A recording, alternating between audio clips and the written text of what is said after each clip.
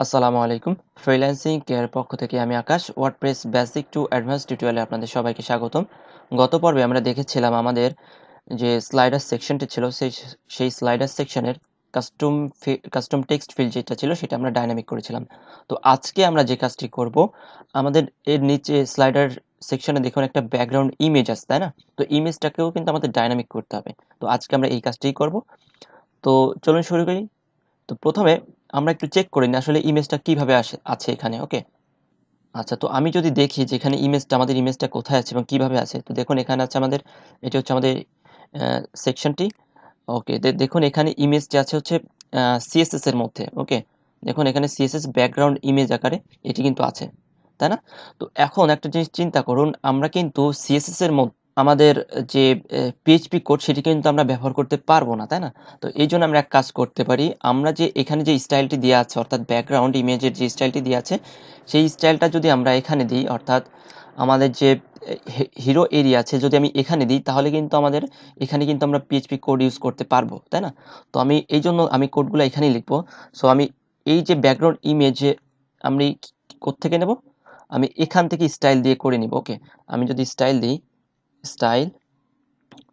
Okay, style, background image. Background image. Okay background image কি হবে? URL URL এর মধ্যে আমাদের লিঙ্কটি থাকবে, তাই না? হ্যাঁ ইউআরএল এর মধ্যে আমাদের লিঙ্কটি থাকবে। তো আমি যদি আমাদের লিঙ্কটি দিই, আমাদের লিঙ্কটি কি হবে? আমরা প্রথমে কি করব? আমরা প্রথমে এখানে get temp get directory URL দিয়ে লোকেশনটা আনব। প্রথম যে লোকেশনটি সেই লোকেশনটি আমি আনব এখান থেকে ওকে তো আমি দিচ্ছি PHP PHP echo get template. Template directory URI okay তো এরপরে আমাদের যে ফাইলের ইউআরএলটি সেটি আমরা নিয়ে আসব। কীভাবে? তো আমি যদি এটাকে আচ্ছা আমি এক কাজ করি। আমাদের দেখুন এখানে আমাদের ইমেজটির নাম আছে স্লাইডার ডট জেপিজি তাই না? তো আমি ইমেজটির নামকে আগে চেঞ্জ করে দিই।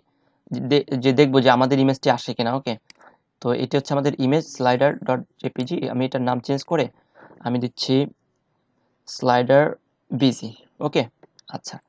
তো এখন দেখবেন যে আমাদের কিন্তু ইমেজটা এখানে পাচ্ছে না, তাই না? হ্যাঁ এখানে কিন্তু আমাদের ইমেজটা পাবে না।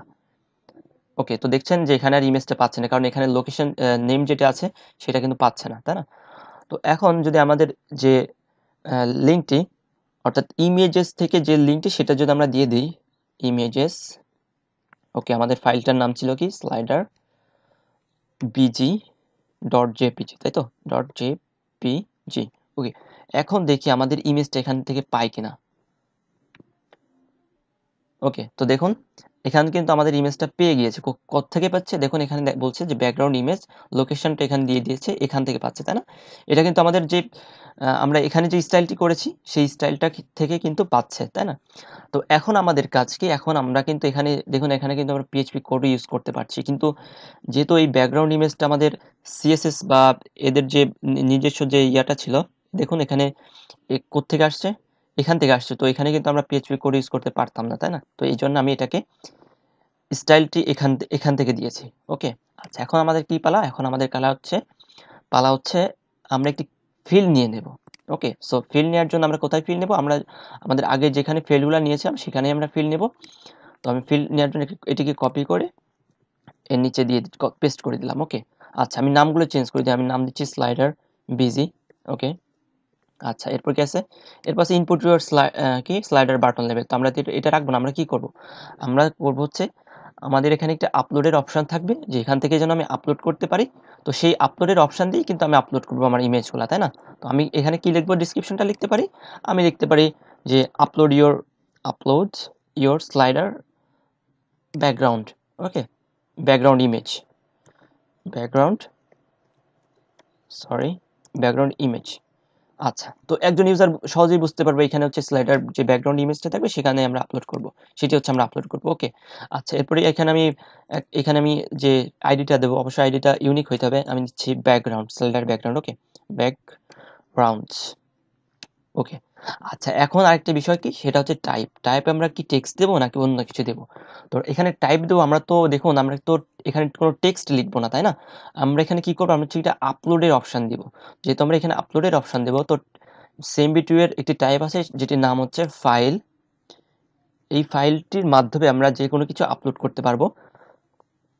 তো আমাদের যখন এই কাজটি শেষ হয়ে যাবে, তখন আমি দেখিয়ে দেবো যে কতগুলা সিএমপি টুর আরও কতগুলা টাইপ আছে ওকে আচ্ছা এখন আমি এটাকে সেভ করছি। সেভ করে যদি আমি আমার ব্রাউজারটি রিলোড দিই, দেখি কি অবস্থা হয়। ওকে দ্যাটস গ্রেট তো দেখুন, এখানে কিন্তু আমাদের একটি আপলোডের অপশন চলে আসছে। দেখুন add or add or upload files তো আমি কিন্তু এখান থেকে আপলোড করতে পারব।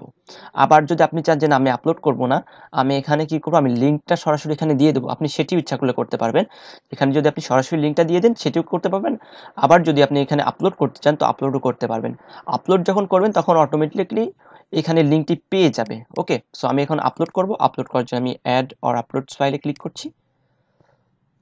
তো আমার ইমেজগুলো চলে আসছে। তো এটি হচ্ছে আমাদের ব্যাকগ্রাউন্ড ইমেজ আমি আগেই আপলোড করে রেখেছিলাম।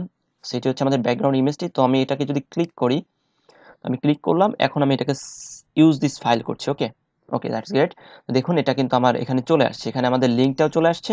এখানে আমাদের ইমেজটিও কিন্তু চলে আসছে। এখন আমি এটাকে কি করে সেভ করব।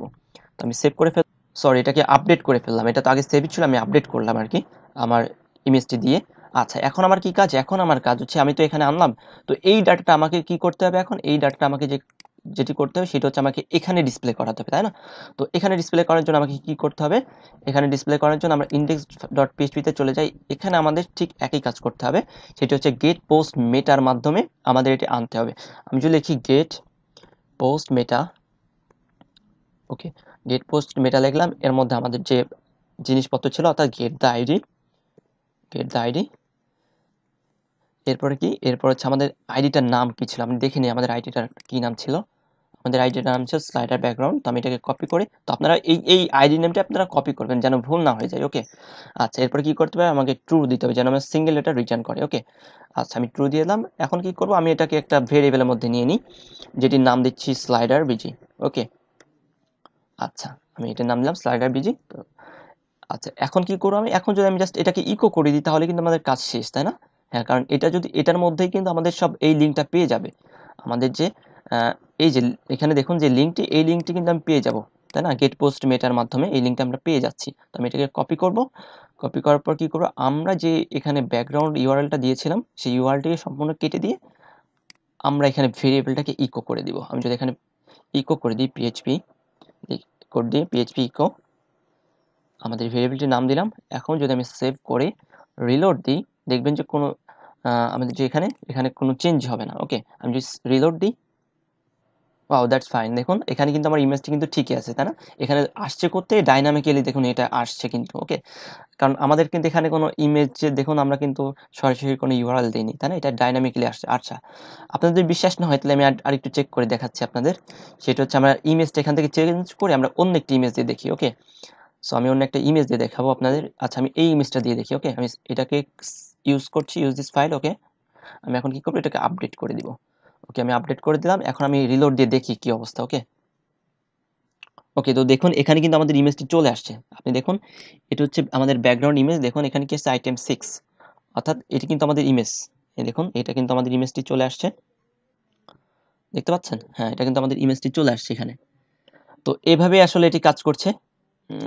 আশা করি খুব ভালোভাবে বুঝতে পেরেছেন যে যে কীভাবে আপনি ইমেজগুলাও আপনি ডাইনামিক করতে পারেন সিএমবি টু এর মাধ্যমে। ওকে তো আমি এটা রিডাক্স ফ্রেমওয়ার্ক দিয়ে করাতে চেয়েছিলাম, কিন্তু ভাবলাম যে যদি সিএমবি টু দিয়ে করি তাহলে আরেকটা জিনিস শেখা হয়ে যাবে। তো দেখুন, এখানে কিন্তু ইমেজটা চলে আসছে। আপনি এখানে একটু খেয়াল করে দেখুন, এখানে কিন্তু ইমেজ চলে আসছে, তাই না? তো আমরা আগেরটাই রাখছি, তো এই জন্য আমরা কি করব? আগেরটাই রাখার জন্য আমি আবার এটি এটি আপলোড করে দিচ্ছি। যেহেতু এই ইমেজটা হচ্ছে ছোটো, যে, যার কারণে ঘোলা হয়ে গিয়েছে, তো আমি আগেরটাই রাখছি। ওকে আমি এটা ইউজ করে আবার আপডেট করে দিচ্ছি। ওকে আপডেট করে দিলাম, আমি আবার রিলোড দিয়ে দেখাচ্ছি। ওকে তো দেখুন, আমাদের কিন্তু ব্যাকগ্রাউন্ড ইমেজটি চলে আসছে। আচ্ছা তো আশা করি খুব ভালোভাবেই বুঝতে পেরেছেন যে কীভাবে কাজটি হলো এবং কীভাবে কাজটি করতে হয়।